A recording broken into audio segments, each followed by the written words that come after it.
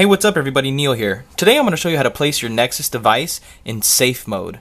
Now, if you're experiencing some issues like random crashes, or sorry, random reboots, or um, extreme battery drain, or maybe some of your apps just keep crashing, this can all be attributed to the installation of a third-party app. Now, to figure this out, you'll want to put your device into safe mode, which will disable all third-party applications on your Nexus device.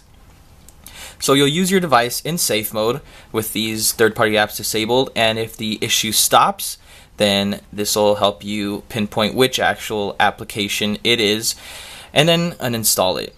So I'm going to go ahead and show you how to put it into safe mode. So let's say I just figured out my device is going slower or I'm having some issues and I think it's due to an app.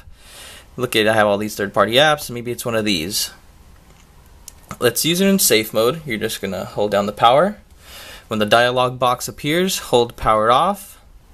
Then there it goes. Reboot into safe mode. Okay. Now your device is going to restart with all these applications disabled and you'll just use it for a little while and if it stops the problem then you know it is a third-party app and then try your best to figure out which one it is. So let's go ahead and um, restart it. Alright, so my device has restarted and if you see down on the left corner it says safe mode.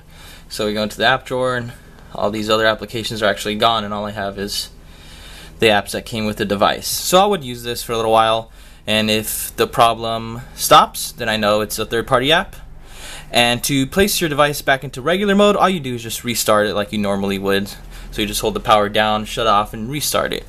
So it's a nifty little tip. It's not that well known, but it'll definitely help you out if you're experiencing any issues with your Nexus device.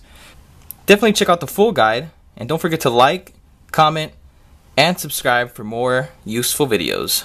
Thanks.